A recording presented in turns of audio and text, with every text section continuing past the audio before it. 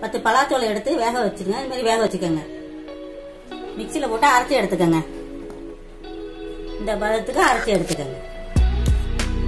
பலாச்சோளம் அரைச்சது ஒரு கப் இருக்கு. அதே அளவு வெள்ளம் எடுத்துக்கணும் ஒரு கப்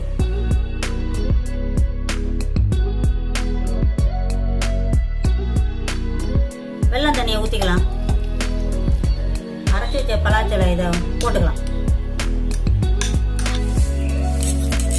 பாசிப்பருப்பு வேக வச்சது ரெண்டு ஸ்பூன் இதில் சேர்த்துக்கலாம். கல் உப்பு கொஞ்சம் சேர்த்துக்கிறேன். கெட்டியா தேங்காய் பால் எடுத்திருக்கேன். அதையும் ஊற்றிக்கலாம் கரெக்டாக கொதி வந்துருச்சு. இறக்கிடலாம். இந்த சூட்டோட ஏலக்காய் தூள் கொஞ்சம் போட்டுக்கலாம். நெய் ஒரு ஸ்பூன் சேர்த்துக்கோங்க. முந்திரி. தேங்காய் அந்த மாதிரி கீரி கீரி வச்சு போடுங்க. அதான் டேஸ்டா இருக்கும்.